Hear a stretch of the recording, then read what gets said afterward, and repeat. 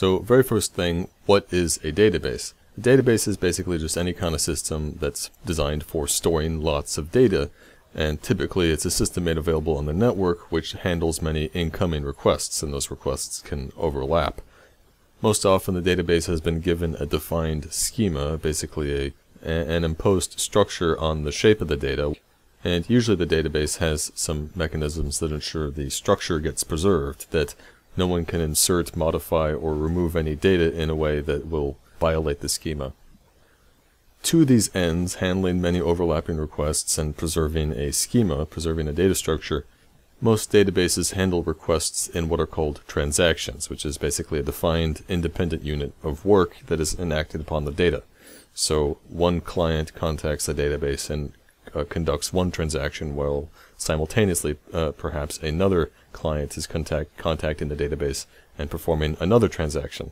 And the idea is that the database is somehow making sure those two separate transactions don't interfere with each other. Ideally, transactions conform to what's prescribed by the acronym ACID, which stands for Atomicity, Consistency, Isolation, and Durability. What atomicity means, what it means for a transaction to be atomic, is that the entire transaction is performed all or nothing. So either all the modifications made in a transaction are committed to the database, otherwise all the modifications are rejected. And if rejected the transaction, then all of its modifications, it's like they never happened. So in the course of a transaction, something might arise that will require the transaction to abort effectively. And so all the changes made up to that point in the transaction, they have to get rolled back. They have to be undone. And then, of course, the client making this transaction should be notified that, hey, we aborted your transaction, so try again later or something. Now, you're probably wondering, why would a transaction get aborted? Well, there are several reasons this might happen. Uh, one reason is because something is happening in another uh, transaction which then interferes with your transaction and one of them has to be aborted. That's a possibility. It could be because there's a power failure or some sort of crash or some kind of internal error in the database itself. The important thing in all these circumstances is that whatever work, whatever modifications are being performed in a transaction, uh, they should be all or nothing. So we either take it all or we drop it all. What consistency in ACID means is that when a transaction completes, it should leave the database in a so-called consistent state, meaning a state consistent with all of the rules, all of the constraints imposed in the schema. So if the schema says that the data should conform to such and such structure and the values should conform to such and such rules, Every transaction should leave the database conforming to those rules. Isolation in ACID refers to the property that transactions should be totally independent of each other. They shouldn't interfere with each other in any way. Or actually, to put it more accurately, overlapping transactions should not interfere with each other. Obviously, if one transaction updates the value of one piece of data, you want that new value to then be subsequently read by any subsequent transactions which read that, that same piece of data. The issue with concurrency is when you have multiple actors all trying to act on the same data at the same time. You have effectively, you have different hands all reaching into the same bag, not knowing what the other hands are doing. And without proper isolation of transactions, this can lead to situations where, say, you have two overlapping transactions, and while one transaction is updating two pieces of data, the other transaction is trying to read those two pieces of data, but because of happenstance of timing, the transaction reading the data gets one of the values updated but not the other one. And depending what your application does, this could be very undesirable. You might have written your code such that you assume that when you update multiple values that anyone reading the database is going to see all of those updates as a whole rather than getting a mix of new updated values and old out-of-date values. So again, the ideal is complete isolation of transactions such that when a client connects to the database and makes a transaction, in the course of that transaction, it's as if that, that single client has the database all to itself and no one else is making modifications or reading data. Now, the trade-off there is that if you have completely isolated transactions, the only way to achieve that really is to serialize all the transactions, such that while one client is making a transaction, all other clients have to basically just wait. And so obviously from the perspective of the clients that are forced to wait, the performance of the database has degraded because they're sitting around and waiting for it. So in practice, databases typically offer different levels of isolation. It's a configurable option of how much isolation do, do you really need. Do you need total isolation or are you willing to relax the rules a bit to allow for more overlapping transactions to get on with their work? These different isolation levels are something we'll talk about much later. Finally, the durability of a transaction simply refers to the property whereby once a transaction completes, or commits as we say, then all of the changes it's made to the database, they get preserved. The data should persist, and it should persist even in the event of, say, power loss or crashes. Now, of course, systems do go down, but the point of durability is that in such eventuality, the database should be able to be restored to its last good state. So, it's these four properties of transactions, atomicity, consistency, isolation, and durability that should help convey why it is desirable to use databases, why rather than have your application store data in just some makeshift format which your application then writes to files, as soon as you recognize that your application makes use of a lot of data, it makes sense to then pass that job off to a database so that you don't have to, in your own code, provide for atomicity, consistency, isolation, and durability, because uh, providing all those things is really damn tricky. The standard file system itself does not offer those features. In this unit, we're going to specifically learn about relational databases. Relational here refers to what's called the relational model of data which was devised by a guy named Edgar F. Codd in about 1969. The relational model for structuring data is one of a few alternatives. There's the so-called hierarchical model, a network model, an object model. The relational model, however, is by far the most dominant. Uh, the large majority of databases in use out there are relational databases. And in fact, the term RDBMS stands for Relational Database Management System. And this term, RDBMS, refers to the software itself. And the reason it's called a management system rather than just a database system is because you can have multiple separate databases all under control of one program, of one database system. In common parlance, though, we just usually refer to the software not as an RDBMS or a management system, we just say the database, usually. Now, SQL, more commonly pronounced SQL, and standing for Structured Query Language, that refers to a standard language used by most databases. It's the language which uh, clients use when they talk to the database server. The term query refers to a request for data. So when you send a request to get data back from the database, that's a query. Um, SQL, however, is not restricted to just queries. It's also for uh, requests to insert data or to modify data in the database. So calling SQL just a query language is a bit of a misnomer. Now, SQL, as I said, is a standard. It was first introduced in about 1974, and it's used by basically every relational database out there. However, the issue is that not all databases use exactly the same SQL language. They all have their own variations. So in practice, the SQL code you write for one database generally has to be rewritten to work with another database. Now, there are dozens of different relational database management systems out there, these five here, though, I would say are the most popular. First, Oracle Corporation is one of the big software companies around, and it's, it built itself uh, virtually entirely on its database product. For many, many years, all through the 90s at least, Oracle was regarded as basically the serious database of choice for the enterprise, and Oracle charged for licenses of its database accordingly. Currently, Oracle licenses go for something like tens of thousands of dollars per CPU license, meaning if you have a database server with, say, 8 CPUs, you have to pay for 8 separate licenses to run it on that server. So Oracle is very, very, very expensive. On top of being by far the most expensive option, it's also by a considerable margin the most complex.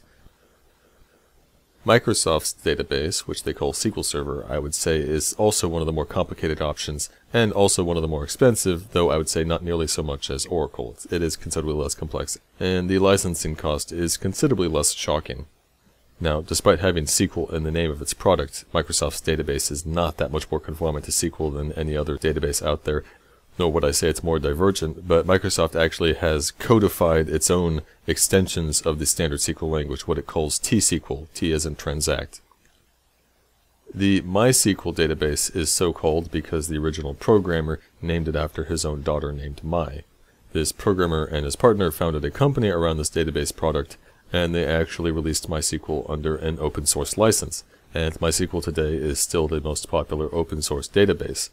Now, of course, the company needed money, so they sold an enterprise version of the same database with a few extra features. Back in 2008, this company was acquired by Sun Microsystems, but Sun Microsystems uh, went under a few years later and got acquired by Oracle, so now Oracle actually owns the rights to MySQL. This has caused a lot of consternation in the open source community because Oracle is not exactly the most friendly company towards open source. Oracle, though, of course, can't outright revoke the existing open source code base, so it remains to be seen whether Oracle successfully undermines MySQL as an open source product or not. And again, despite having SQL in the name of the product itself, that doesn't guarantee at all that MySQL conforms any better to the SQL standard than the other database, and in fact MySQL is kind of one of the more divergent SQL databases out there. The happy news is that, well, if MySQL is on the wane as the open source database of choice, well, Postgres is picking up the slack. Postgres, as it's usually called, we also sometimes say PostgreSQL. Postgres sort of gets its name as a pun on the previous database which it was sort of based on, and that database was called Ingres, hence Postgres. Postgres is my database of choice, and it's the one I would recommend starting out with. The only reservation I have of recommending it over MySQL is that Postgres is actually what's called an object relational database. So it's not just a relational database, it's a object relational. It's mixing the object model of data and the relational model together. Or, or more accurately, it's actually just taking the relational model and putting object features on top. Which fortunately means that you can actually work with Postgres and just ignore this whole object aspect to it. You can treat it as just a plain relational database if you want. But when you go look at the documentation for Postgres, you should be aware that there's some stuff in there that is not strictly relational, it's object relational, and that explains why there's some added complexities there. Oracle actually is also the other one here, which is also an object relational database. In fact, it was the first major example of such a system. But again, I wouldn't fret about it. You can ignore the whole object aspect of these systems. And in fact, that's what we will do. We'll just treat them as plain relational databases. Finally, SQLite is an interesting example. It's also open source, but what makes it unique is that whereas in all these other examples, and in fact in most database systems, they run as network programs. They run as servers listening for requests from clients, whether those clients are on the same machine or on some other machine. So when you make use of these databases, you write your own program which then contacts the database over the network. SQLite, however, is a SQL database implemented as a library, the version for Python, for example, is just a Python module which we import, and then it has classes, and those classes have methods and properties which we then use. And this library just takes our data for us and reads and writes our data to our file, and that file is the actual storage of our database. So with SQLite, there's no servers, there's no clients. It's just your application program reading and writing to this file as a database. We're just doing so with more or less the same semantics we use when we talk to a relational database, a SQL database. So to give you one example where SQLite is used, the Firefox web browser actually uses SQLite to store all of your browser history and your bookmarks.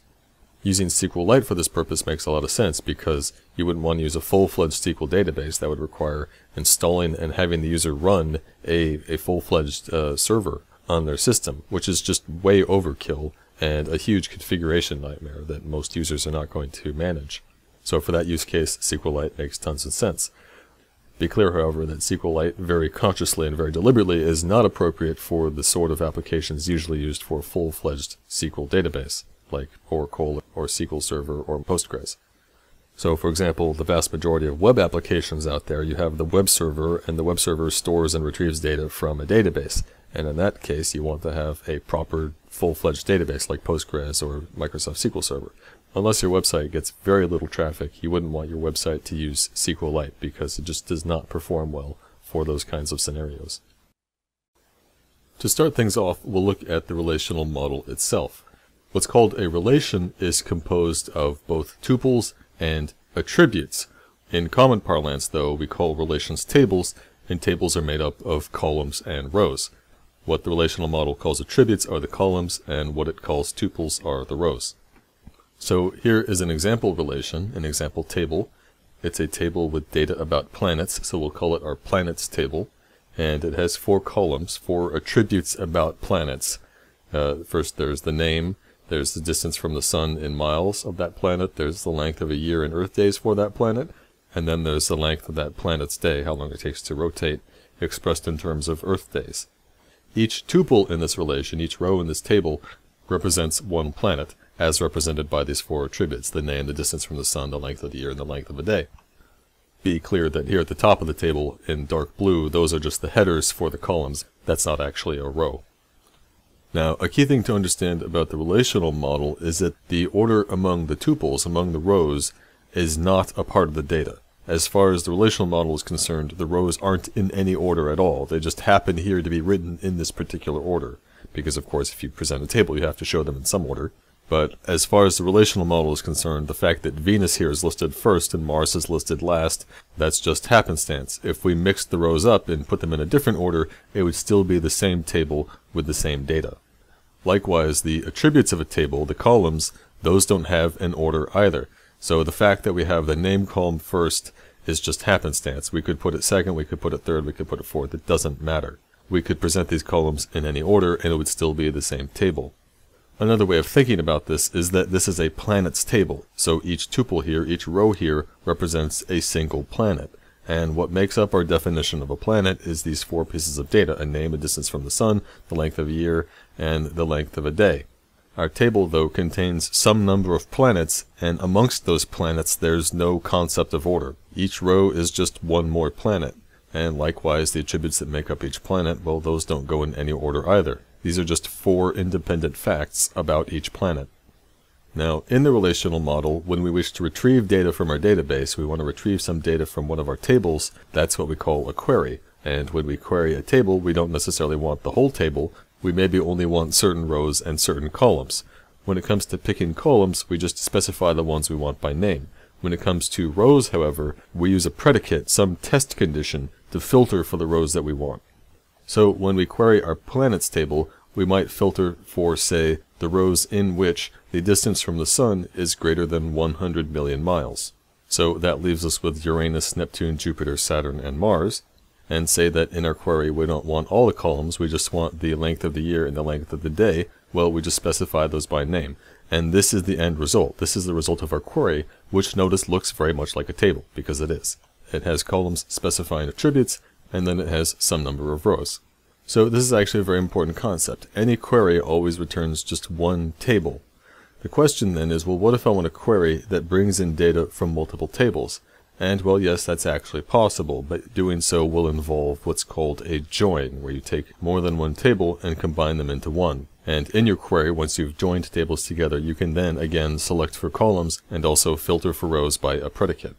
So first though, how do you actually join tables together?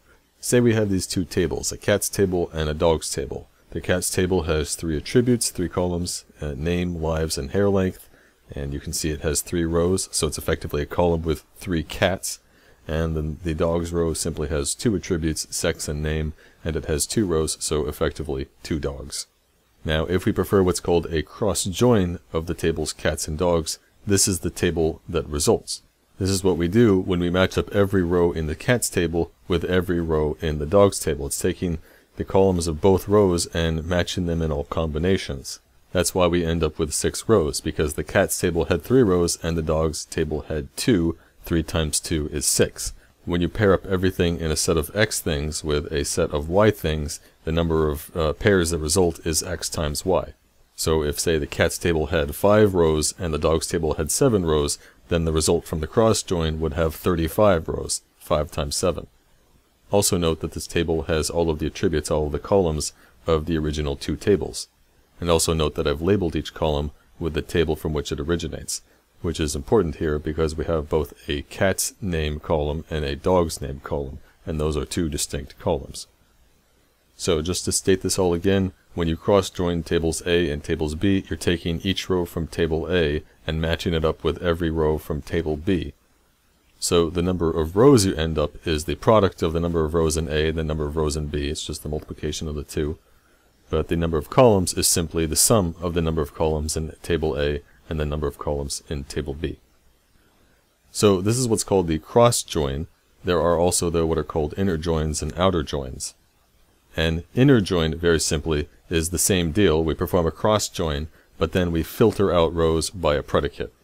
So here we've performed the same cross join from the same two original tables, but then we filtered to keep only the rows where the dog's sex column value is female. Now, at this point, you're probably a bit skeptical about the utility of joining tables together, because in this example, we've taken really what are two totally unrelated tables, and the joining of two unrelated tables generally doesn't really produce useful results. If we go back though and tweak our example tables just a little bit, here changing a few of the names of the cats, and once again we do the cross join, well now with an inner join we can filter by a predicate that is possibly useful. Here we're filtering for all the rows in which the cat's name value equals the dog's name value. So we're ending up with a table that lists names which happen to be shared by both a cat and a dog. Still not the most compelling example in the world, but hopefully you can begin to see how joining tables together might be useful. Now, the last kind of join is what's called an outer join, in which we take the inner join and then after we've filtered out rows, then we add back in any row from one of the two original tables that is not present in this result, in the filtered result. And these rows we add back in, we match them up with null values. So here for instance is the same inner join we just did, but made into an outer join. And whereas the inner join left us with just two rows, this outer join adds back in a third row with the cat Fluffy matched up against null values in the two dogs columns. Why does the outer join do this? Well, recall in our original tables we had three cats, Fluffy, Spot, and Princess, and in our dogs table we had two dogs, Princess and Spot. And both of those two dogs, Princess and Spot, were included in the result of the inner join, so the outer join doesn't need to add them back in. They are already represented in the table. The cat Fluffy, however, the inner join was missing that, so the outer join adds it back in. The inner join left us without that row from one of the original tables, so we add it back in, but then we match it up against null values in the columns from the other table, in this case the dogs table columns. Now, there are actually three different kinds of outer joins. There's what's called a full outer join, which ensures inclusion of all rows from both tables, both of the input tables. There's what's called a left outer join, which ensures inclusion of all the rows from just the left table, which is to say if we write A outer join B, the so-called left table is A because it's the one written on the left. And conversely, a right outer join uh, ensures the inclusion of all rows from just the right table. So if we A right outer join B, that's ensuring inclusion of all rows in just table B, not A. In common parlance, we usually don't say left outer join or right outer join. We just say left join and right join because the outer part is implicit. There's there's no such thing as a left inner join or a right inner join or a left or right join of any other kind. They're always outer joins. For a full outer join, you can't drop the full part. You have to always say full outer join. When it comes to inner joins, and I should say also cross joins, when it comes to inner joins and cross joins, they are both always commutative and they are associative. And commutative, recall, refers to an operation where it doesn't matter the order of the operands. So if you write A inner join B, it's the same as B inner join A, just as A plus B is the same thing as B plus A. An associative operation, recall, is one in which when you chain uh, a succession of these operations together, it doesn't matter in which order you do them. So if you wish to inner join together A, B, and C, or cross join them, it doesn't matter if you join A and B first or B and C first. Or for that matter, we could join together A and C first and then join the result of that to B. Because inner joins and cross joins are associative, it doesn't matter. Outer joins, though, are a different matter. While full outer joins are commutative, left and right outer joins are not. So A left outer join B is not the same thing as doing B left outer join A. And when it comes to stringing multiple joins together, outer joins of any kind, full, left, or right, are not associative. So when you write A outer join B, uh, and then outer join the result of that to C, that is different than first joining B and C together and then joining the result of that to A. So in short, with outer joins, the order of joins matters in a way that it doesn't with inner joins. A final thing to note about joins here is that it's actually possible to join a table with itself. So here, for example, we take our 2x2 dogs table and join it with itself in a cross join. And what we get back is a table with four columns and four rows because 2 plus 2 gets us four columns and 2 times 2 gets us four rows. So that's all the gist of what you need to know about joining. There are a few more interesting things though we can do in our queries, such as say filtering for distinct rows, in other words getting rid of duplicates. In this table, for example, we have two rows where the values in each column are all the same. Uh, it's two cats named Princess with six lives and long hair. If our query filters for distinct rows, then these two rows consolidate into one. In other cases, it may be useful to consolidate columns that only match in certain columns that aren't total duplicates. So here, for example, if we group on the name column, we're consolidating duplicate names, leaving us with just a name column. Since we're grouping on name, it doesn't make sense to include the other columns because the values in those other columns might be different. The hair length, for example, we have three princesses that are getting consolidated into just one princess, but two rows with the name princess have long hair while the other one has short. So the question is, well, if we had a hair length column here, what would it be? Would it be long or short? And the answer is, well, neither would actually make sense. We have conflicting values. It is possible, though, to group on multiple columns. So if we group on both the name column and the hair length column, then we get back a table with the name and hair length columns in which the name and hair length together uh, form a unique pair. So we have two rows with the name princess, but one has uh, hair length short and the other has hair length long. Likewise, if we were to group on lives and hair length, we'd end up with a table with the lives column and the hair length column, with two rows with a lives value of 6, but one with hair length long and the other with hair length short. When we group columns, it's then possible to use what are called aggregate functions. An aggregate function produces an output value by taking in all the values that get grouped together. We can then produce these output values to produce totally new columns, columns which aren't in the original table. So here we have a table of car inventory specifying a car make, car color, and then the quantity of cars with that make and color. So for example, the top row here says that we have 15 blue Toyotas. If we were to then take this table and group on the make column, that leaves us with a table of three rows, Toyota, Ford, and Honda. What's new here is that we're using the aggregate function sum to produce a second column and the sum function is taking the value from the quantity column and what the sum function does, as you might imagine, is sum together all the values from that group. So the Toyota group here has the quantities 15 and 10, so you add those together and you get 25. The Ford group here has the values 3 and 20, which you add together and get 23. And then the Honda group here just has the one row, so it's just the value 9 added to nothing, so we just get 9. So you can see how this is useful. Given our table of inventories of car make and, and color, uh, we've gotten a table that tells us how many cars we have in total per make. For another example, we're taking the same inventory table, but we're grouping on the color column, and we're using the max function instead of sum. So we're taking the max of the quantity. And what the max function does is it takes all the values from the group and it returns the largest one. So in the blue group, we have the quantity values 15 and 9. 15 is the larger, so that's what gets returned. In the red group, we have the quantity values 10 and 3. 10 is obviously the larger, so that's what gets returned. And then in the green group, there's just one value, 20, so the max function just returns 20. I should state at this point, if it hasn't been obvious, but these two functions, these two aggregate functions, sum and max, only work on numeric values. It wouldn't make any sense on, say, a string value like Toyota or Ford. Now, last thing to say about aggregate functions is you actually can use them when you don't do any grouping, it's just that it treats the whole table as a single group. So here if we query our inventory table and tack on a sum quantity column, Notice the value for that column in every row is 57, which is the sum of all of the quantities together. Now, aside from that one exception, the aggregate functions always work on groupings of rows. There are non-aggregate functions, however, what we might just call value functions, and also we can use a number of operators to produce new values.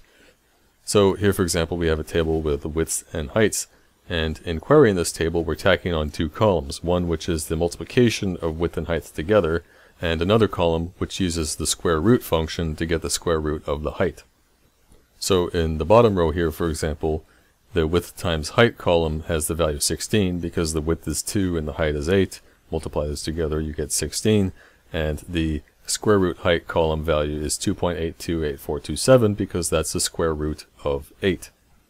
So again, what's going on here is we're using operators and functions provided by the database to produce new values, to produce new columns using values from other columns in the same row. Now, the question is, why do I need my database to do this stuff for me? Can't I just get the data from the database and then do the operations myself in my own code? And the answer is yes, you can. The issue, though, is whether or not uh, it's done more efficiently for your purposes in the database or whether it's easier to do it in your own code, which, which is more efficient. Uh, depending upon exactly what you're doing, that answer might change. Generally, I would say it's better to let the database do as much work as possible because the database is generally optimized for doing these sorts of things on large sets of data. Does this always hold true in all cases though? No, it probably doesn't. So you'll probably find there are cases where you, you're better off doing the work outside the database. Now, I did stress that in the relational model, the order of the rows of our tables is not a facet of the data. If you take any table and you mix up the order of the rows, it's still the same table. Of course, though, when our applications query data from the database and they, we get it back as this result set, a bunch of rows, quite often we want those rows in some kind of order, because, say, we're going to present them in a certain order, like, say, alphabetical or something. So relational databases actually do allow us to request our queries to come back in some certain order. Even if the data itself, as stored in the database, has no order, when we get it back, when we query it, then we want it in some order. We want it to be presented to us in some order. So for example, here again we have our table of cats, and if we want to query this table but, but get it back in some certain order, we specify which column we want to sort on. In this case, we specify the lives column, and we specify whether we want this order to be ascending or descending. Ascending, very confusingly and asked backwards, means that the values get larger as we go down the table. So the as we descend the table, the values get larger. It makes no sense. It's totally backwards. But we say that the values are ascending in this order because from the perspective of the program making the query and getting back the results, you know, in our code we get back this list of rows. And in the list, we want the first thing to be the smallest value, and we want the values to ascend to get bigger as we read through the list. So that's why it's called the ascending sort, because the values, as they get, as we go downwards, they get bigger, and so as we go from left to, to right, from first to last in our list, they get bigger. That's why it's called ascending. A descending sort, as you can imagine, is the precise opposite. The values get smaller as we go down the rows, as we go from the first row to the last. And the last thing to say about sorting is you don't have to sort on just numeric values, you can also sort on text values. And as far as text is concerned, values lower in the alphabet, later in the alphabet, are considered greater values. So if you do an ascending sort on a text column, that's effectively sorting alphabetically. A descending sort would be reverse alphabetical. So by this point we've actually now covered all the core concepts of querying data, but what about actually adding data into the database or updating data, manipulating data? Well, when it comes to adding a row for a table, this is called an insert operation. And unsurprisingly, if you want to insert a new row, you have to provide a value for each column. So here in our cats table, we're inserting a new row and we're providing a, a name value mittens, a lives value 2, and a hair length short. And now we have a cat, mittens with two lives, and short hair. When it comes time to remove rows from a table to delete them, what we do is we specify a predicate, a predicate used to filter rows, to select rows, and then delete them. So here in our planets table, if we delete rows by specifying a predicate of distance from sun greater than 100 billion miles, that's effectively specifying Uranus, Neptune, Jupiter, Saturn, and Mars, and then deleting them. If we want to change data in existing rows, this is called an update operation, and first we specify which rows we want to update with a predicate, and of course we specify which column or columns we wish to update with a new value and what those new values should be. So here we're updating simply the column lives with a value of 5 in all rows where the name value is princess. So whatever number of lives these two rows with the name value princess had before, now both of those rows have the value 5 in the lives column.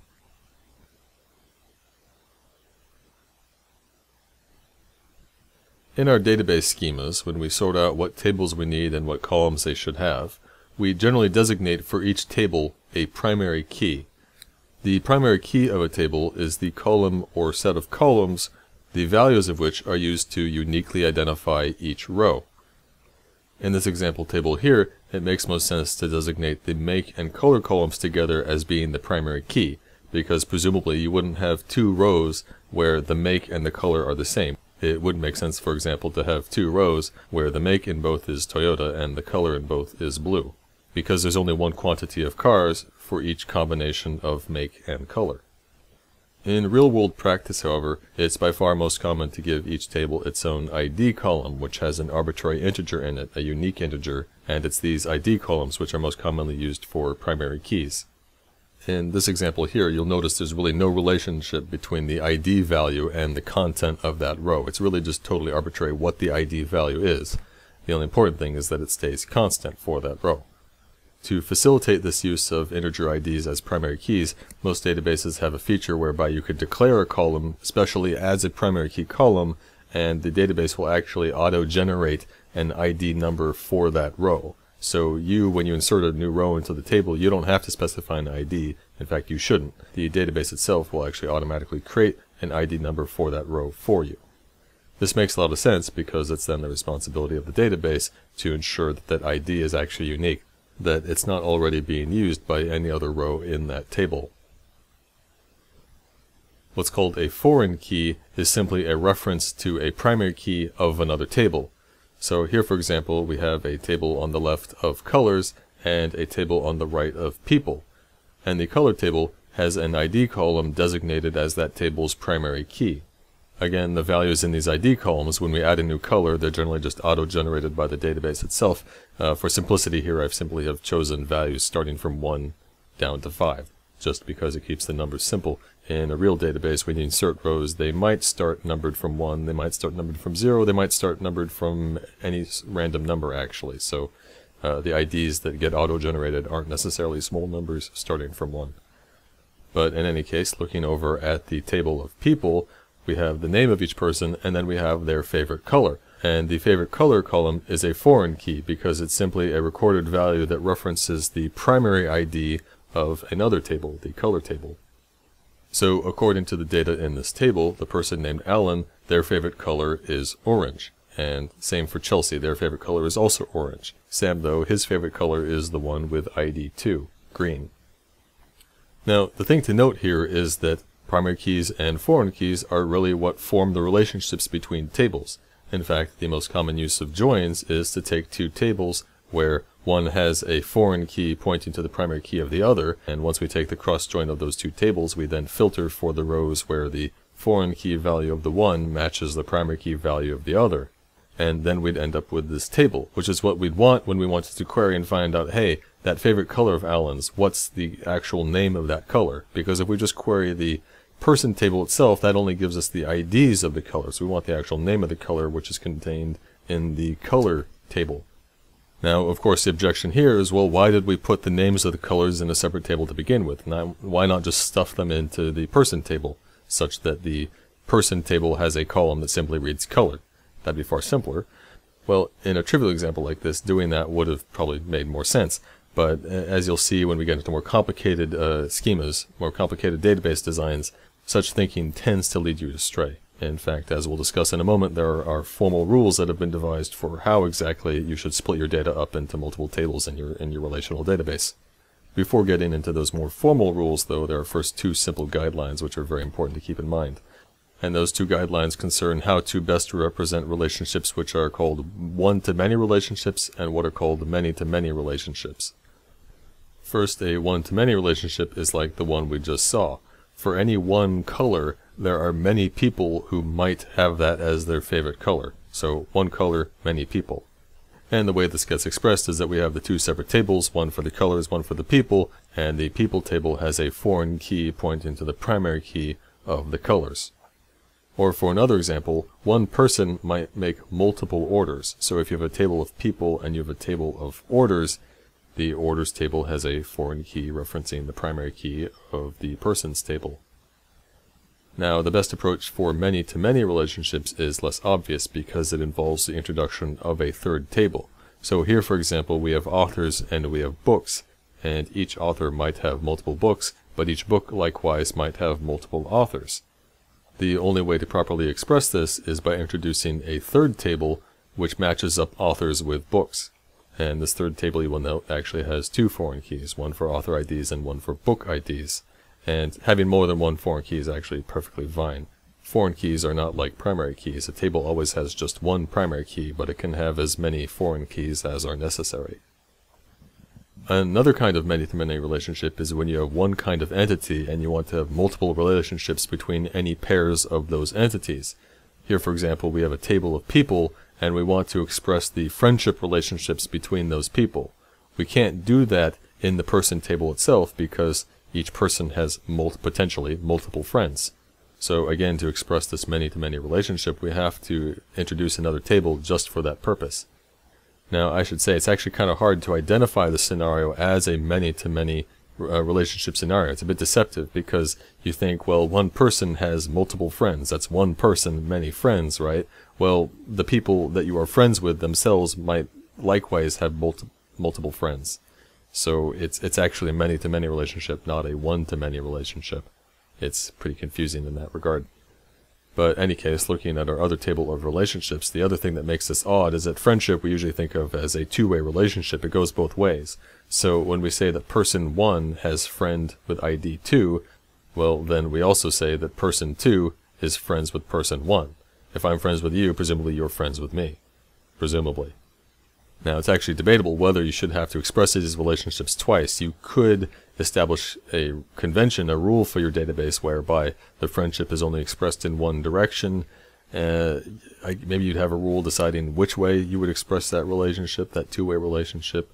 It's actually a bit of a dilemma. The downside of expressing the relationships both ways is that you have for one relationship two rows, and so if you want to update, modify, or remove some existing relationship, you'd have to make sure to do so in pairs. You'd have to make sure to remove two rows at a time, the two corresponding rows.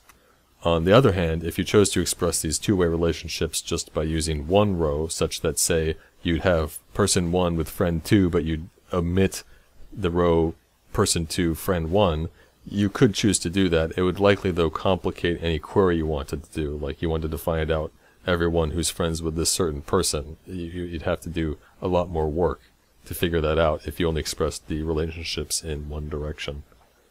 The takeaway from this is that the relational model is sometimes kind of an, kind of an awkward fit for expressing certain things. In time, though, with some practice, you'll find that you'll adjust and you'll be able to fit uh, most everything pretty easily into the relational model, and you'll find tricks to work around the odder cases.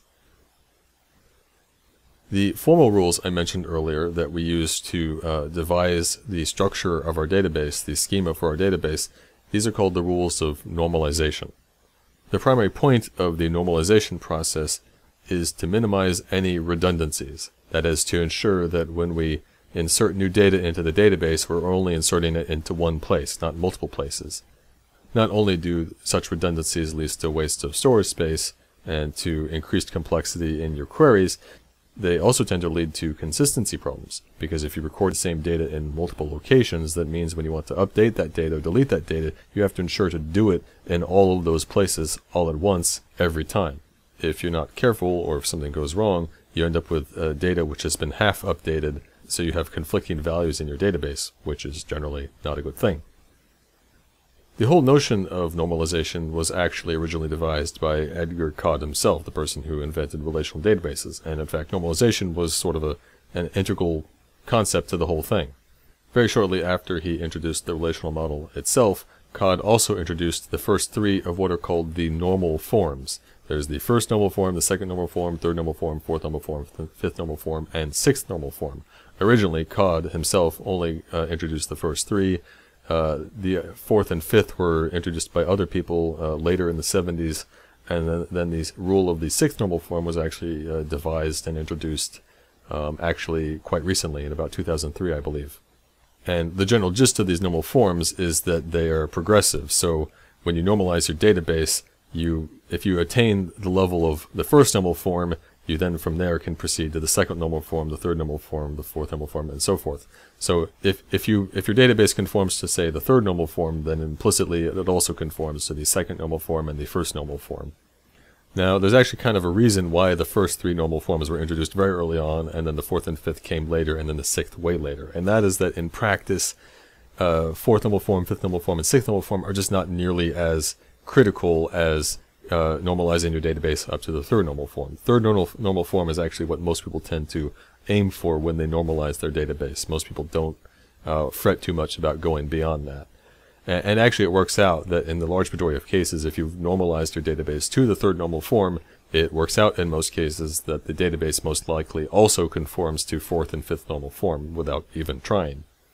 To be clear, it is possible to conform to third normal form but not fourth or fifth normal form. It's just not likely. It doesn't come up in most situations, really. So, with that all in mind, we're only going to discuss the first three normal forms, because they, as I said, are really the ones really relevant to most people. Before we get to those, Codd himself actually summed up the purpose of normalization pretty succinctly. First off, the point is to free the collection of relations from undesirable insertion, update, and deletion dependencies. Again, relation is just Codd's term for what we usually call tables. And what he means by dependency here is a scenario where when you modify or insert or delete something from one table, you need to, for the sake of consistency, perform some other action on another table. Those are dependencies between tables. And while it's true that in some scenarios such relationships really are unavoidable, they're really necessary, one point of normalization is to try and minimize those dependencies because, well, the fewer the better. Codd also says that the point of normalization is to reduce the need for restructuring the collection of relations as new types of data are introduced and thus increase the lifespan of application programs. What he's saying here is that ideally when we add new tables to a database, it shouldn't require having to update existing tables or modify their structure. That would be quite bad and intrusive, right? It's really important to have the flexibility to add new tables as easily as possible. In bullet point 3 here, he says that the point of normalization is to make the relational model more informative to users. And what I think he means there by informative is that if someone were to look at the schema of your database, look at the design of the tables, it should be quite evident looking at any one table what its purpose is. What you tend to get in an improperly designed database schema is a bunch of tables that have sort of nebulous roles. You're not really clear on what purpose those tables serve or how they relate to the other tables. Lastly, Codd says that normalization is also for the purpose of making uh, the collection of relations neutral to the query statistics, where these statistics are liable to change as time goes by. That's a bit tricky to parse, but what he means first by the relations being neutral to the query statistics he means that the database shouldn't make it unduly hard to write certain queries because of how the database is structured. And not only should those queries be harder for a human author to write, they shouldn't be especially more onerous for the database itself to execute. But, of course, some queries you write are going to be naturally more complex than others, just because maybe they involve many more tables, and they're also potentially going to be uh, more resource intensive. They're going to take longer for the database to process, simply because they involve more data and more work for the database to do. However, Codd is basically saying here that normalization will prevent scenarios where cases which should be simple and which should run fast aren't going to be artificially hard to write or artificially uh, over, overly taxing on the database. That's basically what he's saying. So now let's actually look at the first of these normal forms. The first normal form is the easiest to state, certainly. It's usually just expressed as no repeating groups. Tables should not have repeating groups. The only difficult part about this first normal form is in understanding, well, what the hell is a repeating group? And there's a little bit of uh, disagreement among competing interpretations of this first normal form, but at least what people agree on is that it means that uh, there should be no ordering among the rows or columns in your table. And in practice, what that means is that when you insert data into your database row by row, you you, the user of the database, understand that the database is not maintaining that order. And so when you do a query later on, you're not going to get back the, the data in the same order. That's in practice really what that means. No repeating groups means that you also shouldn't have duplicate rows. And in practice, really what that means is every table should have a primary key. As long as you have a primary key for every table, you're not going to have duplicate rows. No repeating groups is also interpreted as meaning that for any column, that column only really expresses one attribute. You shouldn't try and uh, surreptitiously stuff multiple attributes into one. You don't want multiple values per column. And similarly, for every value in a cell, that is every intersection of every row and every column, each, each cell of data, it should never have more than one value in any cell. Which is kind of like saying the same thing that every column should just express one attribute. So the first normal form is really not hard to understand, even if there are maybe some competing interpretations for more subtle cases, but in general what I interpret it as meaning is just make sure your tables are really tables. No ordering of the rows, no ordering of the columns, one value per cell. And that's pretty much all it is. The second normal form is maybe a bit trickier. It's certainly more of a mouthful to say. No non-prime attribute is dependent on any proper subset of any candidate key. And to unpack that, we first have to define some of those terms. First off, what's called a superkey is just any combination of attributes of, of columns. It's any set of columns that could be used to uniquely identify uh, each row. So in this example table here, there are a couple superkeys. Uh, the combination of skill and employee, that's a super key. Skill and current work location would be a super key. or uh, the combination of all three together would be another super key. What are called candidate keys, however, are a subset of the superkeys. The candidate keys are, are the super keys which don't have any so-called extraneous information in them. It's a minimal super key is one way to think of it. Another way to put it is that a candidate key would be a valid selection as the primary key for the table. And in this example here, there's really only one candidate key, and that is the combination of employee and skill. So once again, candidate key simply means a set of keys which could validly be selected as the primary key for that table. Now, what a proper subset is, if you forget, it's a subset which is not equal to the thing it is a subset of. So again, our candidate key here is employee and skill together. The two proper subsets of that are the employee column by itself and the skill column by itself. The combination of employee and skill together, that is a subset of itself, of employee and skill, but it's not a proper subset. So that's all what proper subset means. And finally, a prime attribute is a column which is part of a candidate key. So a non-prime attribute here is current work location because it doesn't belong to any candidate key. So to ask if this table is conformant to the second normal form, we ask, is the current work location column dependent upon either the skill column or the employee column? And the answer is that the current work location is dependent upon employee because presumably it's something that corresponds to the employee. One employee has one current work location, right? So this is no good. We have a non-prime attribute which is dependent upon a proper subset of a candidate key. The most sensible way of correcting this example is to split it into two tables, one for employees and a second table just expressing the relationship between employees and their skills.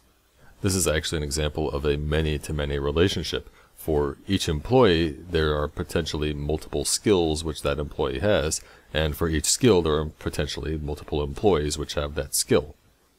So if you just went by that guideline, you would very quickly see there's a problem with the original table because one single table cannot express a many-to-many -many relationship. You have to bring in uh, another table for that purpose.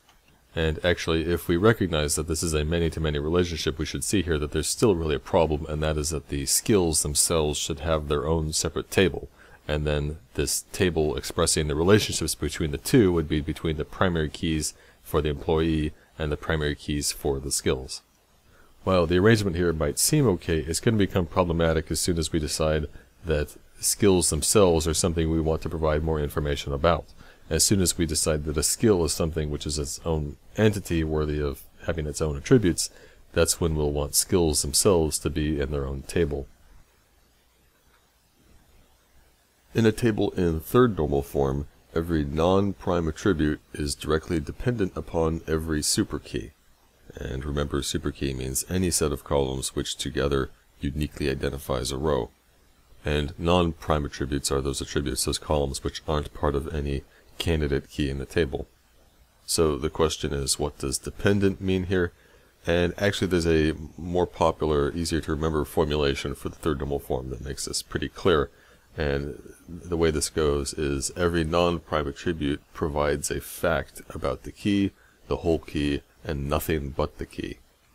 And looking at an example here which violates this rule, we have this table of tournaments and their winners, which right off the bat, just saying that tournaments and winners should raise alarm bells because tables should be about one sort of thing, not multiple things.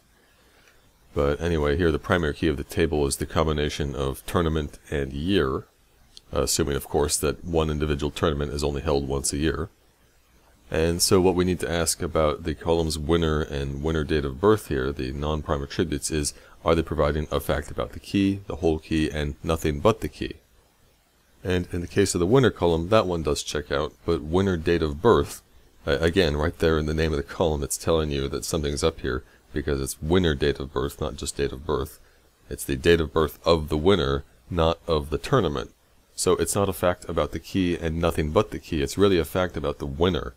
So the dependency here between winner date of birth and tournament and year, it's not a direct dependency here. It's a transitive dependency where winner date of birth is really dependent upon winner, and winner is what's dependent upon tournament and year. So the solution here, as basically always, is to take this table and to split it into more than one. And so more sensibly, we'd have a table for tournaments and a table for winners. And the winner table has a ID primary key, and the tournament table simply has a foreign key referencing the primary key of the winner table. So that's an example of third normal form, and again, understand that if you're in third normal form, then by definition you're also in second and first normal forms. And if you want to sum up all these rules into just one common sense slogan, that is to always ask yourself about any table, does this column really belong to this table? And if you just think in those terms, you'll usually catch most of your problems. Just going by that guideline will usually get you most of the way there to third normal form. Finally, one last thing to understand about normalization is that more normalized isn't always better. It turns out there are actually cases where one would actually want to deliberately denormalize their database. That is to take their schema, which is properly normalized, and to actually make it less normalized. Uh, effectively to add more redundancy into your tables, into your schema. And the reason you might do this is for the sake of performance. Having redundant data it sometimes can uh, allow for more efficient queries, depending upon what exactly your use cases are. So in practice, we really have this trade-off if you want to have a very clean database with everything properly organized, then you maximize your normalization. If you realize that, wait a minute, there are these few particular cases where uh, we really need to have this data also in this column because trying to join it together with all these other tables and, and get our data that way, that's just too inefficient for something that we're doing maybe many times a, a minute or something. Uh, and so in those cases, you'd actually deliberately denormalize your database and add in some redundant data. So denormalization is a tool basically of optimization.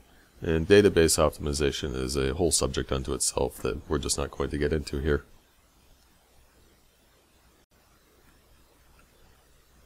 When we create a table, we have to specify the data types of each column.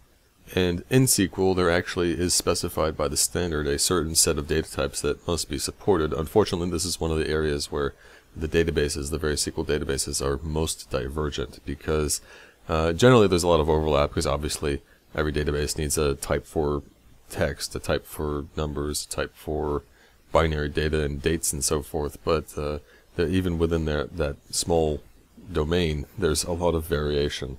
Uh, at the very least, even in just what to call the data types. So you'll have examples where these two databases have the same data type, they just give them different names, which is quite annoying.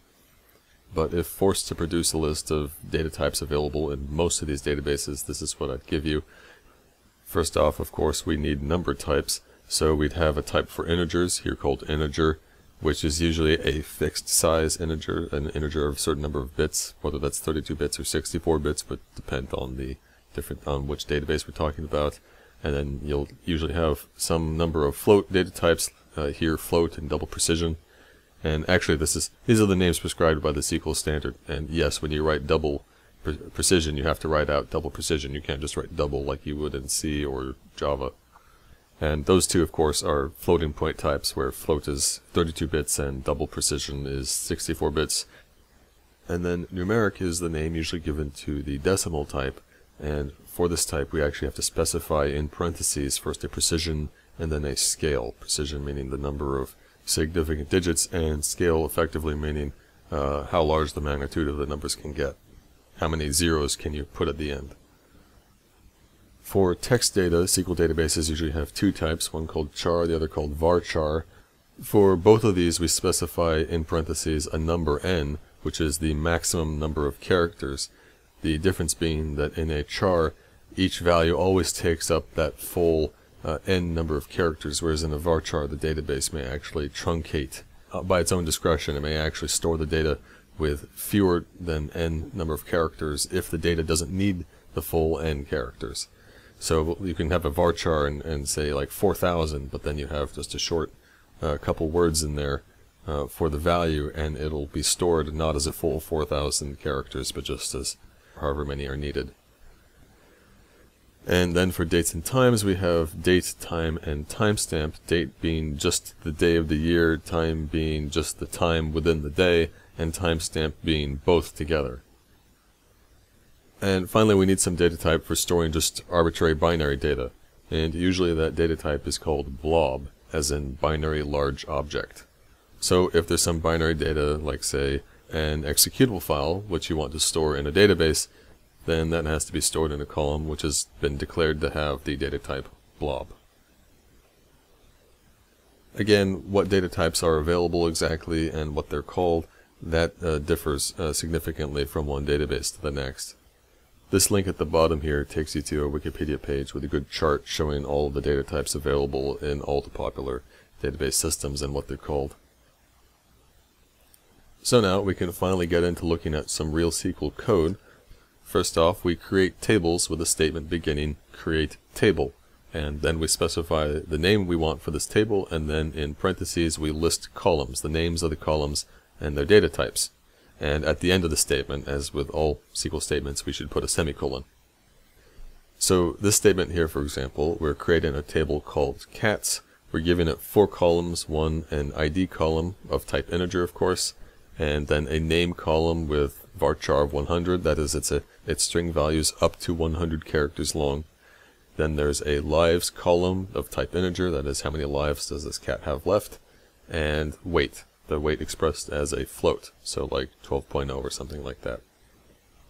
You may notice that I'm writing all of the SQL reserved words, the special words in the SQL language, I'm writing them in all caps, which is a common practice, but actually not required because the reserved words are not case sensitive. We can write them in any case we want, as for the identifiers, the names that we ourselves are creating, cat's ID, name, lives, weight, those things, by default in most databases they're not case sensitive either. Some databases though actually have a configurable option where you can turn on case sensitivity for table names and column names and so forth. Now in our example we created a primary key column called ID and of type integer as we generally should for basically all tables but recall what we really want for our primary keys is for the database to auto-generate these integer numbers for us, so we don't have to re remember which IDs we've used and which we haven't. Uh, and the way we do this is we declare this column, this integer column, as a primary key with the reserved words primary and key. And now when we add new rows to the cats table, we don't have to provide an ID, it gets auto-generated for us, and the database will ensure that the ID generated is unique and not otherwise used already in that table. So that's how to create a table. To remove a table from the database, we use the drop statement, which, and you just write drop table and then the name of the table. So here drop table cats will remove the cats table from our database. And be clear that this will destroy the data in our cats table, so any data we've inserted will get lost. If you wish to modify an existing table by giving it a new column, we can do so with the alter statement. We write alter table, name of the table, and then add, and then the new column, with both the name for the column and the data type afterwards. Likewise, we can remove existing columns by writing alter table, table name, drop, and then the name of the, of the column, just the name, not the data type. And finally, we can actually change the data type of an existing column by writing alter table, table name, alter column, and then the name of the column followed by the new data type. And understand that in most databases, when you modify a column like this, change this data type, you actually wipe all the existing data in that column. So it's effectively like you really just deleted the column and then added in the new column with the new data type. I believe in some databases, though, for some kinds of conversions, like say converting from an integer value to a floating point value, I, I believe in some cases that it may actually do a conversion if, if, if such a thing is possible depending upon what you're converting to and from. But really, if you find yourself really needing to modify an existing table while preserving the data already in a column you want to change, well then you just extract all the data from that column into your application, have your application do the conversion that you want, assuming one actually makes sense, and then stuff the data back in. So there's always ways around this, of course. And you know, changing your existing tables is not something you do on a regular basis. That's that's like a design change of your application. It's not something done in the normal course of business. To insert data into a database means to add a new row into a table. So the insert statement, we write insert into the name of the table, and then the reserved word values, followed by a pair of parentheses with a list of values separated by commas inside. So here we write in, insert into cats, followed by the reserved word values, and then in parentheses, uh, a string mittens. Strings in SQL are always uh, enclosed in single quotes, and then the number 9 and 12.0. And you may be wondering, well, which columns do these values get assigned to? And the answer is it's the same order as when we declared the, the table itself. So when we declared the table, we had the four columns actually. First we had the primary key, but that, that value is being uh, auto-generated by the database itself because it was declared as a primary key. And then after that is we had the name field, the name column, and then we had the lives column, and finally the weight column, which is a float value. So this relies upon us remembering the order in which we declared the columns. So of course, remember, in, in, in, a table, there's no concept really of order between the columns, except for this purpose. There actually is an alternate syntax where you can specify the names of the columns, so you don't have to remember what order you originally declared them in, but uh, we won't cover that. It's, it, it's a trivial variation, but I'll leave it to you to look it up. To remove rows from a table, we use the delete statement and write delete from the name of the table, the reserved word where, and then the predicate. Some boolean expression, basically. So here, for example, we're deleting from the cats table every row in which the lives value is less than 3. To modify data in existing rows, we use the update statement, and we write update the name of the table, the reserved word set, and then one or more column values, which come in the form of key value pairs effectively. The name of the column equals sign, and then the value to assign to that column, and we separate these all by commas if we have more than one. And in this form, we're not specifying any predicate to select rows, so this will actually update every single row in the table. So here when we update the cats table, and we assign 5 to the lives column and 9.0 to the weight column, those two values will become the lives and weight values in every single row of the table. If we wish to update only certain rows in the table, we append a where clause, which specifies a predicate. So here we have the same thing, but with a where clause with the predicate name equals the string fluffy. And this is confusing because in the set clause, the equal sign is used as an indicator of like assignment, whereas in predicates, the equal sign is used as a conditional operator. It's performing a test, returning true or false depending upon whether these two values are equal.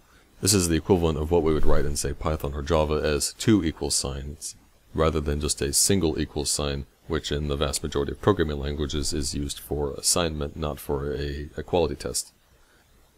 But in any case, in this update statement, then, we are updating the value of the lives and weight column, but only in that row or rows where the name of the cat is equal to Fluffy.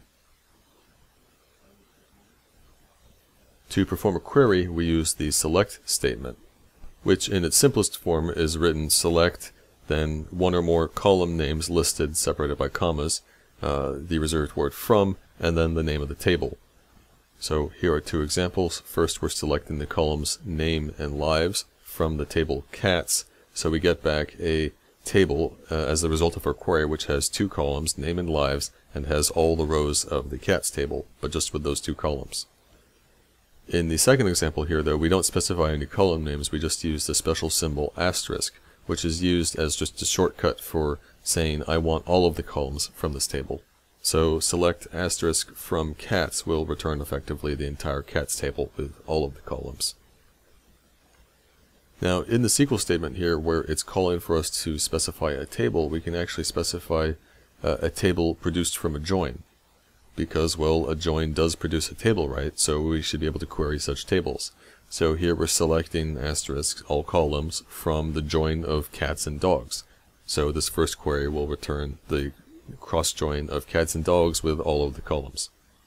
In the second example, it's the same deal, except instead of a cross join, we're doing a left outer join. Remember, commonly we call left outer joins just left joins. We could actually write left outer join here, and that would also be acceptable, but SQL, most commonly, we just write left join. And then finally, in the last example, again, it's the same deal. We're doing a left outer join between cats and dogs. Recall, though, that outer joins and inner joins, unlike cross joins, may have a predicate which is applied to filter the rows uh, returned by the join. So here this is a left outer join with the predicate specified in the on clause of cats.lives equals 6. And cats.lives here is the notation we use to specify the lives column in the cats table. And this may be important because the cats table and the dogs table, there are cases where those two tables we're joining together might have columns of the same name. So we have to use the syntax of writing the, the table name dot and then the name of the column to specify precisely which table we're referring to. So the join that's performed here, remember an outer join is first effectively an inner join. So it's we're inner joining cats and dogs together and then filtering on the predicate filtering to keep only those rows where cats.lives equals 6, and then because this is an outer join, a left outer join, we are then going to add back in any rows from the cats table, which by that filtering process are no longer present after the inner join. And so the outer join adds those back, back in, matching them, them up with null values in the dogs columns. I should note here, if you're wondering, the syntax of SQL is free form. That's why we have semicolons at the end of our statements. So the fact that we're indenting the on clause and putting it on its own separate line, that's just basically a matter of style. And to make what's going on in the syntax clear, we can actually put a parentheses around our joins. So it's clear that it just pr produces one single table from which we are then selecting columns. So the parentheses in these three examples aren't really doing anything, they're just making it more explicit what's really going on. We're performing joins here and then using the product of those joins as the tables upon which we are performing select statements. Now, in any select statement, we can add an optional where clause, which is another predicate used to filter the rows. So here we're taking our last example and adding on a where clause that's filtering for the rows in which cats.name equals dogs.name, so those rows in which the cat and the dog have the same name. And you should be absolutely clear about when this predicate is applied, especially in relationship to the, the predicate of the join itself. The join with its predicate, that is performed first, and then we are selecting columns from that product, and then we are applying the where predicate. We're, then we're filtering the rows with this additional predicate. Now, if you wish to group your query on one or more columns, you add a group by clause, which is simply written group by and then the name of the column on which you wish to group. Again, here we're qualifying the name of the column with the name of the table, just in case that dogs also happens to have a column with the same name. And if you then wish to filter the rows after the grouping, you use the having clause. And what's special about the having clause, unlike the where clause, is that in the having clause you can use aggregate functions which is not the case with the where clause in most SQL databases. So here we're grouping cats by age, and then we're using the aggregate function min to get the uh, small, the lowest weight out of each age group of cats, and we're filtering those rows in which the the minimum weight for that age of cat is uh, greater than 10. Now, again, you should be very clear about when these various predicate clauses, the on clause, the having clause, and the where clause, you need to be clear about when exactly they get applied, when their filtering gets done. And the on clause is it's a predicate applied in a join, so it's performed during the join. You can you can say the having clause is then applied immediately after grouping, assuming there is any grouping. And then the, the where clause is the it's the final filter on all the rows returned by the select. So the where always comes last. Now, in our various SQL statements, in our update statements, our select statements, our delete statements, and so forth, there are cases where the syntax is calling for us to provide some table or some value or some set of values. And while normally when we provide, say, a value, we do so by just writing the value ourselves in our SQL code, it's possible to use a subquery, that is to use a select statement within another statement. And then if that select statement, say, returns a table, then we can use it in a place where a SQL statement is expecting a table. Or if a select statement returns a table with just a single column, then we can use that select statement in place of where SQL expects us to provide a list of values, a set of values. And finally, if a select statement returns a table with a single row and a single column, that's effectively a single value, right? So we can use such a select statement in place where SQL is expecting us to provide just a single value. Now, to provide an example of a subquery, I'll actually introduce first a new operator, the in operator, which takes a value and then after it a set, usually expressed as a list of values in parentheses. And the in operator is a conditional operator which evaluates to true if the value is found in the set, and otherwise it returns false. So our top example here, imagine that say this is a where predicate, and it tests whether the value from the column cats.lives is found in the set of 3, 6, and 5. So if cat.lives is equal to 3, or equal to 6, or equal to 5, this will return true, otherwise it will return false. In our second example here, we're expressing the value not as a column name, but as just a, a fixed value, the value 4, but we're expressing our set not as a fixed set of values, which we write ourselves in the code, but as a subquery. It's a select statement, which is returning a single a table with a single column, the, the column age from the table dogs. And so this in operation here will evaluate to true if the value 4 is found in the column age of the table dogs. Aside from in, we have a number of other operators which deal with sets, and these are actually combinations of the existing comparison operators, the equality operator, the less than operator, greater than, less than or equal to, greater than equal to, etc. Um, it's those operators, but then followed with either the reserved word any or all. And that that turns these uh, comparison operators into a comparison not between one value and another value, between a value and a set. And so in our top example, this is an equals any operation with the value from the column cat.lives, testing whether it is equal to any value in the set 3, 6, and 5. Uh, in truth, an equals any operation is really just the, the same as an in operation. Swapping out equals any for in here would do exactly the same thing. In the second example, we have a less than or equals all operation, which is asking, is this value less than or equal to all of the values in the set? So is 5 less than or equal to all of the values in the set returned from the column age in the table dogs. So assuming the ages in the dogs column are say 7, 8, and 7, this will return true because 5 is less than both 7 and 8. If the ages in the dogs column though includes any value which is less than 5, then this would return false. Now, subqueries can be pretty tricky to understand, and I know I'm going over them quickly, I'm kind of glossing over them, but I, I, will make one last point which is very important, and that is you need to understand when subqueries are really performed. In this example here, we have a select statement, which is selecting all the columns from dogs, but then we're filtering those rows with the predicate dogs.name in, and then a set provided by a subquery. And this subquery, you will notice, is selecting the name column from the cats table, but then it has its own predicate, its own where clause, which is filtering on a predicate using not just a column from cats, but a column from dogs. And this doesn't make any sense if you assume that the subquery inside the other query is performed first, which is kind of sensical because you would think, just like in sub-expressions, expressions contained within expressions, that you would evaluate inside out. But that's not always the case with subqueries. What's actually going on here is that the subquery in the where clause is being evaluated multiple times. In the containing select statement, the outer select statement, we are filtering each row of the dogs table, and this subquery in the predicate is actually being uh, reevaluated for each row of the dogs table. And that explains how we can use a column from the dogs table in the predicate of the subquery, even though the subquery itself doesn't involve the dogs table, at least not in the from clause. So once you understand when the subquery is actually being performed, then you can understand how it works.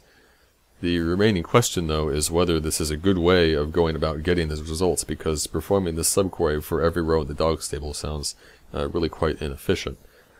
And the answer is that in this case, no, you probably wouldn't do things this way. It's much more obvious if you simply just join the dogs and cats tables together and then use an on predicate to filter for the same condition of cats.name equals dogs.name.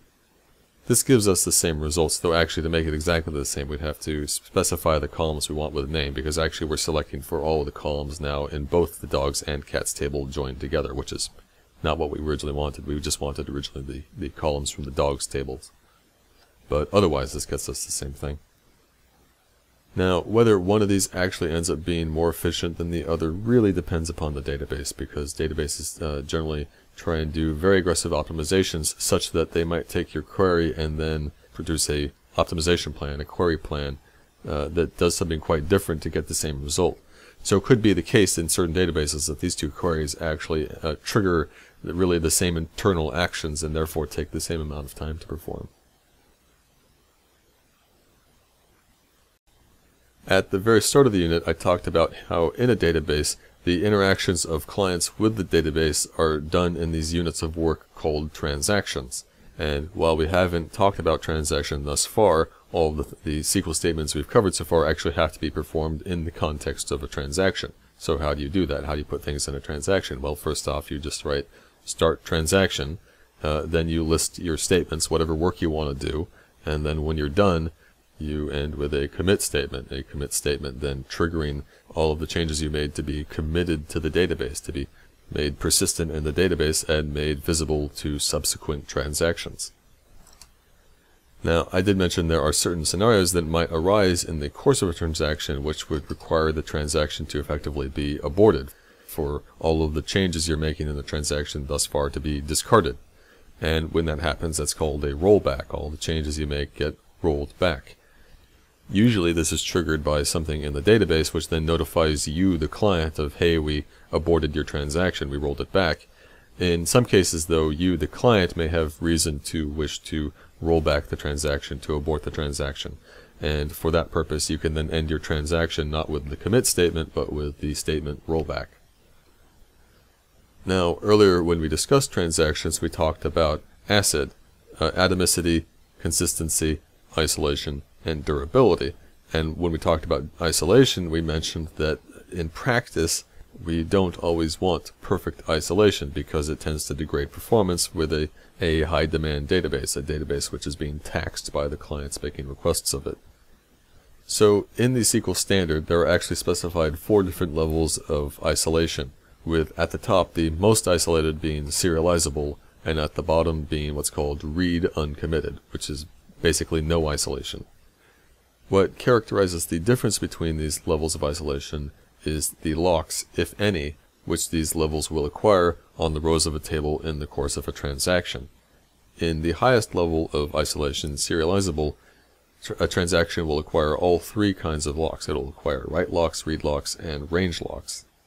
Locks are a tool used to resolve concurrency issues which work by simply acquiring a so-called lock on a piece of data. That is, staking a claim on a piece of data such that all other actors who wish to use that piece of data either are prevented from using it while it's locked, or those other actors are expected, if not required, to check and see whether a lock has been acquired on the piece of data before that actor attempts to use the data. So these locks are not necessarily like going into a room and locking the door so no one else can go in. It's more like uh, hanging a occupied sign on the outside so no one else tries to come in. And the difference between a write lock and a read lock is that a write lock once acquired prevents others from writing the same data, whereas a read lock once acquired prevents others from reading it. And a range lock is a lock that neither prevents reading or writing, it's just a, a fixed selection of rows, basically. The idea of the range lock is that in the database, in the course of a transaction, say, uh, if you perform a query where you filter for the rows where column X is less than 100, you want to make sure that the range of rows selected is the same in subsequent queries of the same transaction. You don't want the selection of rows to be affected by something that happened in some other transaction that overlap with your own transaction. So that's what range locks are about to understand the effect of these different isolation levels and the effect of these locks, it's actually easiest to think in terms of what kind of undesirable situation do these different isolation levels avoid. And there are three effects that arise if we lack isolation, and these are what are called dirty reads, non-repeatable reads, and phantom reads. And notice how they correspond to the locks. When we use all three locks, including range locks, we avoid phantom reads. Uh, when we use just write locks and read locks, we avoid also non-repeatable reads, and when we use just write locks, we avoid at least dirty reads. So what exactly are these phenomena? Well, a dirty read occurs when in a transaction, let's call it transaction X, we read some data which has been updated by some other transaction, let's call it transaction Y, but that data was not committed by transaction Y. So transaction X is in effect reading some data which has not really been committed. It's been modified in the database, but not properly committed. This is generally undesirable because that uncommitted data, there's the possibility it might get rolled back for whatever reason. And there's also the possibility that within transaction Y, when that data was updated, there's some other piece of data that's meant to be updated with it somewhere else in the database.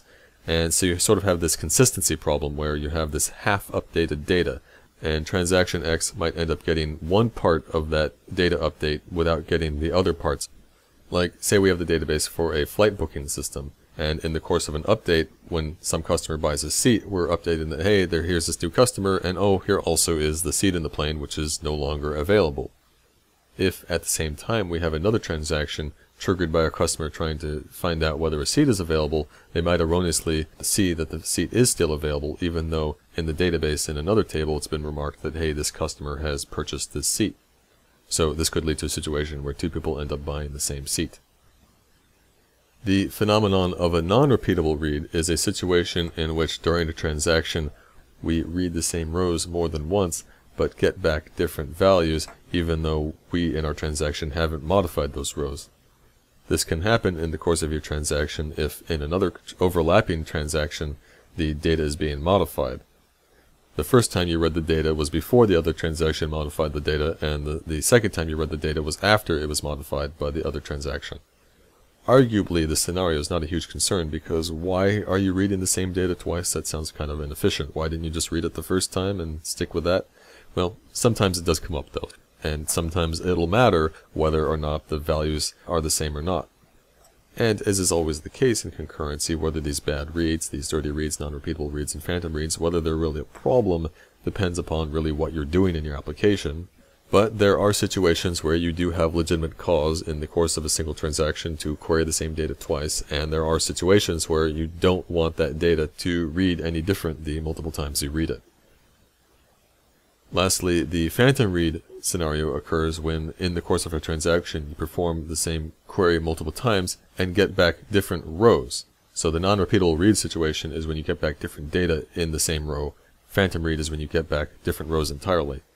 And this may occur because uh, the conditions upon which you are filtering, the predicates, they may say something like column x less than 100. Well, if data changes, the rows in which x is less than 100 may change, so you get back different rows. And this is why at the highest isolation level, serializable, uh, most databases employ what are called range locks, a lock on a selection of rows, such that if you perform the same query with the, the same semantics, it, you will get back the same set of rows. Now to make it absolutely clear why a range lock is necessary, when you perform a query and you get back a certain set of rows, and even if you have a write lock and a read lock on all of those individual rows, some other transaction might modify data in other rows such that those rows then fit the criteria of your, your filtering predicate. So they would then get included in your query, and your query that you perform the, the, the next time will actually return different rows. Range locks prevent that by, in the query, fixing the set of rows that get returned by that query such that the next time you perform the same query, you get back the same rows. The last thing I'll note about these concurrency issues and isolation levels is that some databases don't actually use locks. They use a different technique. They use what's called multi-version concurrency control. Postgres, for example, uses multi-version concurrency, and that's actually why, for until recently, it actually only supported two different levels of isolation. It supported the highest level serializable, and it supported the lowest level uncommitted read. So it was an all or nothing approach of total isolation or no isolation at all. The gist of multi-version concurrency is, as the name implies, to provide a different version of the state of the database to each transaction, what's called a snapshot. So when I initiate a transaction, I get a fixed snapshot, a fixed view of that current state of the database for my very own, and when I work with the database, I just see things in that state. When I make changes in the course of my transaction, those changes are generally given a timestamp, and then when I try and commit, there's a reconciliation process of my transaction reconciled with the other transactions that may have overlapped. At the time I commit my transaction, there may end up being a conflict, which may call for rolling back my entire transaction, but generally, more often than not, it'll go through. Last thing we'll do in this unit is go over some of the aspects of relational databases that we won't cover in any detail. First off, the so-called security model of a database refers to how it handles security. And for most SQL databases, the gist is that the client, when it contacts the database server, has to log in and has to provide a username and a password. And associated with each user account in the database is a role, which describes what kind of privileges uh, that user has, whether they can modify this table or read that table and, and so forth. And of course, this is all set up and controlled by users with special administrator privileges beyond that broad outline, the details of how security works in one database compared to the other tends to uh, vary significantly. It's something you pick up when you work with one particular database. What's called a view in a SQL database is a special kind of table. The normal tables in the database are called base tables. A view you can think of as a virtual table. It's a table which in a sense doesn't really exist because it doesn't have its own data. It's simply a view into other tables, into the regular base tables, and possibly other view tables. And the way this works is you define a view and you simply define it by a query, a select statement. And so a view in effect is pretty much just an alias for some particular query. It's really not much more than that, though in most cases the database will allow you to modify the data of a view table, and what happens then when you update a row of a view table is that the actual row from the base table from which that uh, data was derived, that gets updated. So a view is not exactly just an alias for a certain query, but it's pretty close. Stored procedures in SQL are in effect basically functions within the SQL language. A stored procedure is just a list of statements to execute when that stored procedure is invoked by name. Now, stored procedures are one feature of SQL that's highly divergent. Some of the databases provide more features than others. In some, you can go as far as basically using SQL like a Turing-complete language. It's like almost a full-fledged general-purpose programming language. It's just a, a really, really awkward one. What's the point of having stored procedures? Well, uh, one major advantage potentially is that if you so choose, you can put all of the complex queries of your application into the database itself as stored procedures. That way, when your clients access the database, they don't have to send a whole bunch of SQL. They can just send very simple commands saying simply call procedure X. And first off, that could spare your client and server from uh, exchanging quite a bit of network traffic, at least in the request. In the response, of course, the client still has to get back all the data. Another potential advantage is that by having the query predefined as procedure in the database, the database can parse the SQL ahead of time and also optimize the query plan for those statements. It doesn't have to do that on the fly with each new request. And of course, the more complex the requests, the more overhead that saves. Another potential advantage of stored procedures is that they can, in effect, uh, serve to simplify the interface to the database. Rather than having the clients devise their own complex queries, they're just interacting through a set of predefined uh, queries by name. And you can actually configure security policy to enforce this. You can restrict clients to only using certain stored procedures and disallow them from making just arbitrary queries on your database. So stored procedures can also be a useful tool in security. Finally, one more potential advantage of using stored procedures is that stored procedures can do logic that's more complex than you can otherwise do with just regular queries.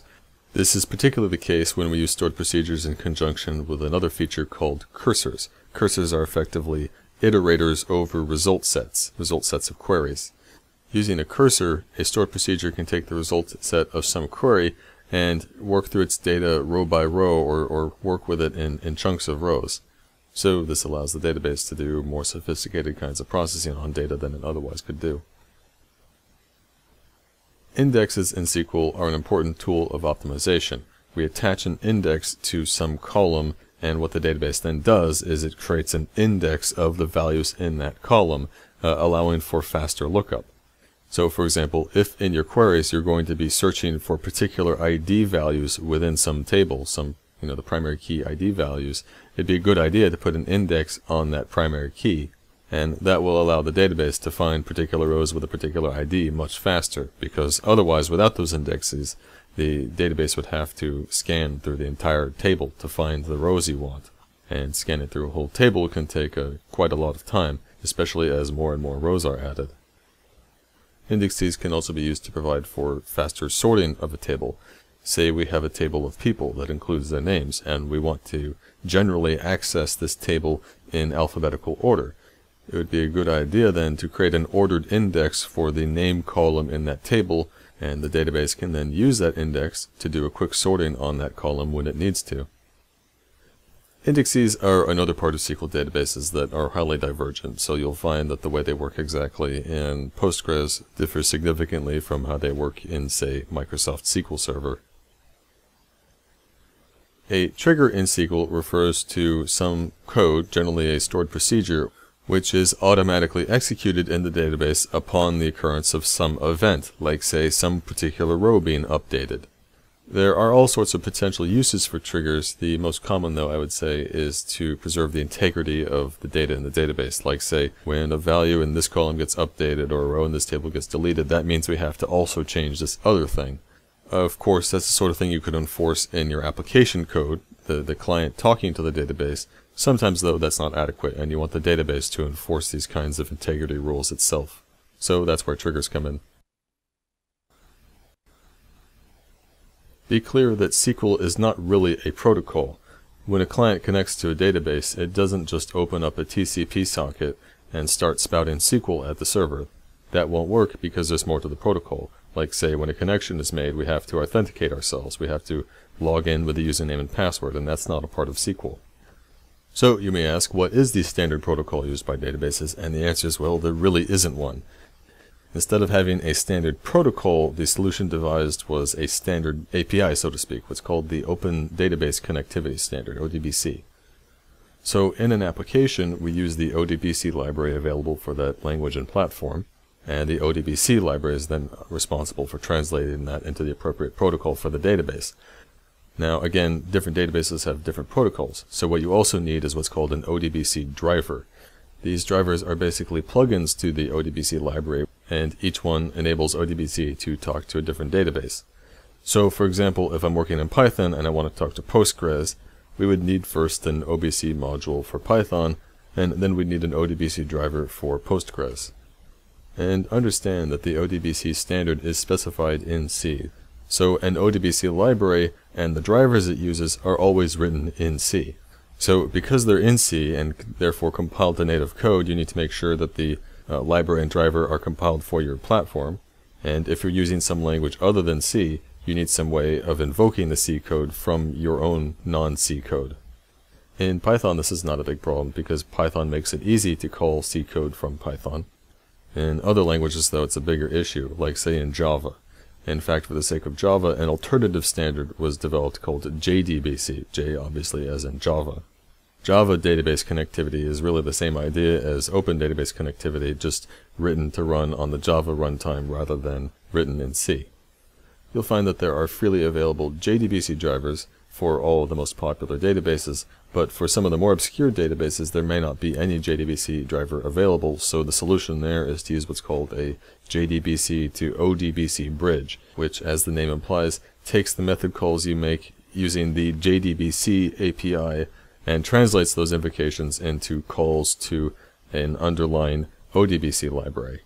So that's a solution for the scenario where you're using Java, but the database you want to connect to only has an ODBC driver, not any JDBC driver.